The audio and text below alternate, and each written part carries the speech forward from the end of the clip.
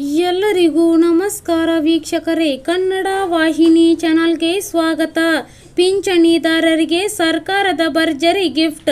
ಅರವತ್ತು ವರ್ಷ ಮೇಲ್ಪಟ್ಟವರಿಗೆ, ವಿಧವೆಯರಿಗೆ, ಅಂಗವಿಕಲರಿಗೆ ಪಿಂಚಣಿ ಮೊತ್ತ ಡಬಲ್. ನೀವು ಕೂಡ ಈ ಮಾಹಿತಿಯನ್ನು ತಿಳಿದುಕೊಳ್ಳಬೇಕೆಂದರೆ ಈ ಕೂಡಲೇ ವಿಡಿಯೋಗೆ ಲೈಕ್ ಮಾಡಿ ಹಾಗೂ ನಿಮ್ಮ ಸ್ನೇಹಿತರಿಗೂ ಕೂಡ ಶೇರ್ ಮಾಡಿ. ಚಾನಲ್ಗೆ ಹೊಸಬರಾಗಿದ್ದರೆ ಈಗಲೇ ಸಬ್ಸ್ಕ್ರೈಬ್ ಮಾಡಿ. ಅವರು ನಿರ್ಗತಿಕ ಮಹಿಳೆಯರು. ವೃದ್ಧರು ಮತ್ತು ಅಂಗವಿಕಲರ ಪಿಂಚಣಿ ಮೊತ್ತವನ್ನು ದ್ವಿಗುಣಗೊಳಿಸಿದ್ದಾರೆ. ಈಗ ಇನ್ನೂರರಿಂದ ಸಾವಿರ ರೂಪಾಯಿ ಪಿಂಚಣಿ ನೀಡಲಾಗುವುದು.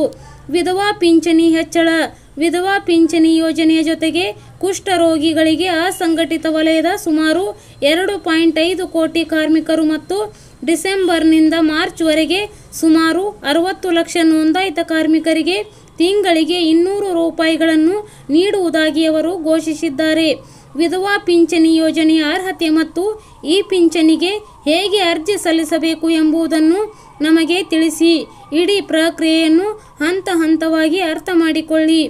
ಈ ಮಹಿಳೆಯರಿಗೆ ಐದು ಲಕ್ಷ ಹೆಚ್ಚುವರಿ ಮೊತ್ತ.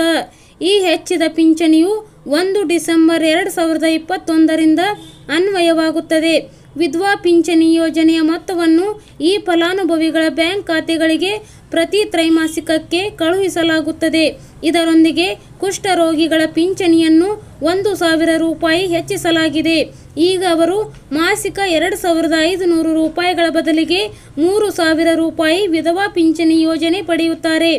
ಪ್ರಧಾನ ಮಂತ್ರಿ ಆವಾಸ್ ಯೋಜನೆ ಅಥವಾ ಮುಖ್ಯಮಂತ್ರಿ ಆವಾಸ್ ಯೋಜನೆಯಿಂದ ಪ್ರತಿ ಕುಷ್ಠರೋಗಿಗೆ ಪ್ರಯೋಜನವಾಗುವಂತೆ ಸಿಎಂ ಯೋಗಿ ಘೋಷಿಸಿದ್ದಾರೆ. ಮತ್ತು ಆಯುಷ್ಮಾನ್ ಭಾರತ ಮೊತ್ತವನ್ನು ಖರ್ಚು ಮಾಡಿದ ನಂತರ ಬಡತನ ರೇಖೆಗಿಂತ ಕೆಳಗಿರುವ ಮಹಿಳೆಯರಿಗೆ ಹೆಚ್ಚುವರಿಯಾಗಿ ಐದು ಲಕ್ಷವನ್ನು ಐವತ್ತಾರು ಲಕ್ಷ ವೃದ್ಧರು, ಇಪ್ಪತ್ತೊಂಬತ್ತು ಲಕ್ಷ ವಿಧವೆಯರಿಗೆ ಪಿಂಚಣಿ, ವಿಧವಾ ಪಿಂಚಣಿ ಹೆಚ್ಚಳ, ವಿಕಲಚೇತನ ಇಲಾಖೆ ಜಂಟಿ ನಿರ್ದೇಶಕ ಎ ಕೆ ವರ್ಮಾ ಮಾತನಾಡಿ, ರಾಜ್ಯದಲ್ಲಿ ಹನ್ನೊಂದು ಲಕ್ಷ ವಿಕಲಚೇತನರಿಗೆ ಪಿಂಚಣಿ ನೀಡಲಾಗುತ್ತದೆ. ಅದೇ ರೀತಿ ಸುಮಾರು ಹದಿಮೂರು ಸಾವಿರ ಕುಷ್ಠರೋಗಿಗಳಿಗೆ ವಿಧವಾ ಪಿಂಚಣಿ ಯೋಜನೆಯ ಪ್ರಯೋಜನವನ್ನು ನೀಡಲಾಗುತ್ತದೆ.